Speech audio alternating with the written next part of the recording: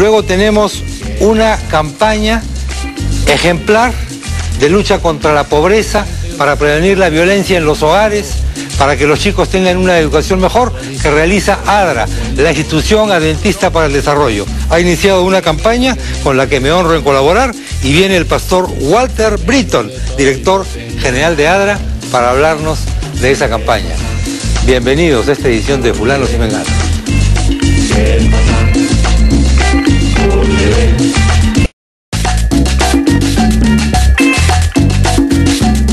los índices de violencia familiar, drogadicción, abuso infantil, pandillaje, deserción escolar aumentan año a año. Para prevenir esta situación realizamos cada año la colecta Comparte Esperanza. Tu colaboración permitirá que miles de niños, niñas y adolescentes tengan una vida mejor. Del 5 de agosto al 5 de septiembre colabora tú también en la colecta Comparte esperanza.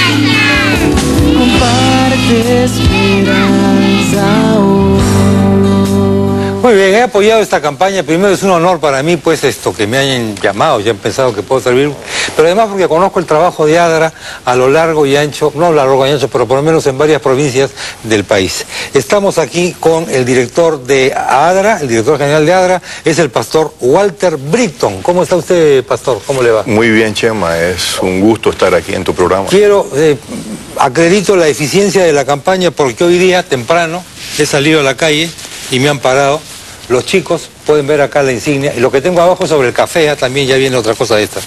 Los chicos eh, de la Universidad Unión, Peruana Unión. Peruana Sí, Unión, Peruana de Ñaña, Sí. que me interceptaron cerca de mi casa. Yo soy vecino de los señores de Adra. Y los chicos de la Universidad Unión estaban con sus eh, estos polos eh, granates, esta, esta ropa granate. Correcto. Y yo le tengo un especial cariño a esa Universidad Unión porque cuando yo era chico tocaba la puerta para vender galletas y mi mamá y yo salíamos a comprar las galletas. La plata la daba mi mamá generalmente yo solamente las consumía. galletas. Entonces, la vinculación que yo tengo con la Universidad de Ñaña es enorme, porque es a través de mi mamá, vaya. Y quizás he descubierto ahorita mismo una de las razones por la que estoy apoyando esta campaña. Válgame Dios, me acabo de dar Sí, cuenta. son cosas que van quedando ahí desde Me pequeño. acabo de dar cuenta. Y hoy Sí, sí, día sí. los chicos de la Universidad de Unión me entregan, me ponen esto. Y sabes, Chema, que el público apoya a muchos estudiantes comprando estos productos. Absolutamente. Que son productos muy saludables, son excelentes. Ahí me ven, alto, rubio, de ojos azules, después de haber comido como una tonelada de galletas de... Bueno, no, quiero decir que no me ha pasado nada. Bueno, esta campaña cumple varias funciones. Ustedes son una, una- una organización que yo la he visto trabajar en Ancash. En. Ancash, le- me gustaría que el público conozca el trabajo que ustedes hacen en Ancash. Bueno, eh, quizás en pocas palabras, en Ancash estamos ya hace eh, casi dos años trabajando con apoyo de la minera Antamina. Correcto. Quien eh, ha sido eh, una institución, una empresa que apoya mucho eh, a la región. Justamente ellos están trabajando en Ancash y les ha ido bien. Entonces parte de su responsabilidad social es trabajar a través de, de ONGs. Exactamente. Y estamos trabajando allí con más de 17 mil familias De acuerdo. haciendo un trabajo específicamente eh, con el tema de la desnutrición crónica. Efectivamente. Yo he estado en Ancash. Es interesante ver la- el, el- el dinero que ponen también para esto. Un- Una mitad lo administra la ADRA, Adventista, y la otra mitad la Caritas Católica. Correcto. Se llevan perfectamente bien, suman esfuerzos. Y yo he sido testigo, ha bajado la desnutrición infantil en esa provincia El, del Perú. el- el año pasado, Dios mío, eso es una cosa el increíble, año pasado, milagroso. solamente en un año, logramos bajar la desnutrición crónica en 2.8%. lo cual es enorme, porque no es fácil bajar la desnutrición en un país, porque el problema de la desnutrición no es solo un problema alimenticio, es un problema cultural, es un problema cerebral. Para ello ustedes tienen que rediseñar la casa campesina, Correcto, correcto.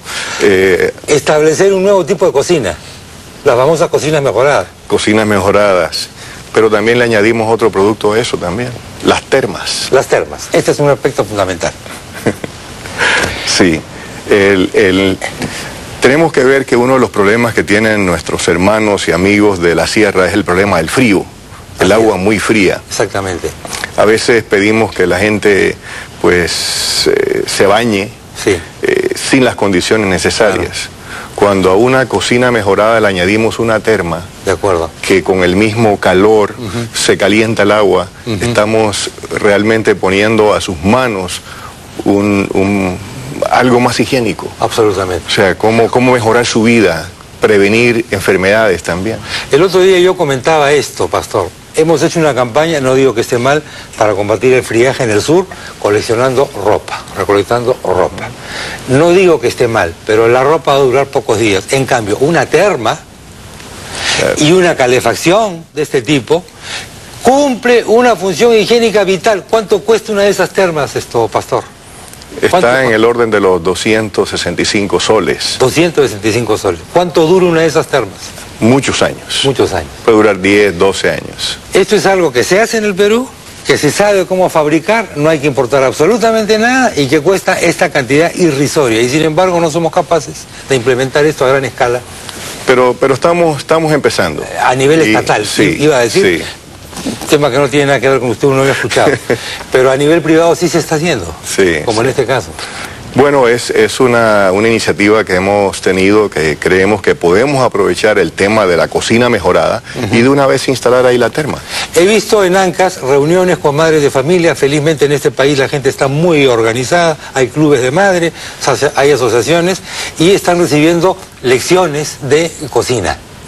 Bueno, de, muchas cosas, de muchas muchas cosas. capacitaciones. Por ejemplo, uno de los problemas que habías mencionado antes, muchas veces el tema de la desnutrición crónica infantil no es asunto de que no hay alimentos. Así es, absolutamente. O sea, Claro. es, es tema de educación, es, es enseñarle a esas madres eh, cómo preparar sus alimentos en una forma correcta, eh, nutritiva, eh, especialmente a los niños cuando ya eh, tienen los seis meses, Sí. que ya no toman más eh, El- pecho, el- el ento- pecho entonces el ahí es donde se la- produce el, el la quiebre y empieza la desnutrición. Entonces ahí es donde nosotros entramos a trabajar con esas, con esas damas, bueno, desde antes, ¿no?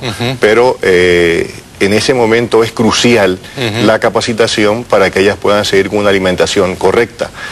Hoy día estamos ayudándoles con, con algo que le llamamos chispitas. Chispitas. Las correcto. chispitas, esos son micronutrientes Correcto. que se pueden utilizar en la alimentación Sí. y no tiene ningún rechazo. Entonces, la, Es un suplemento al es un suplemento nu- nutricional. sí, exactamente. Se le echa a los diferentes platos eso. a los diferentes platos. A ¿Y la- qué son esas chispitas? Bueno, tienen micronutrientes, Ya. vitaminas, eh, minerales, sulfato ferroso, Sulfato que es una de las de las cosas tan necesarias para la alimentación del- de la madre, precisamente.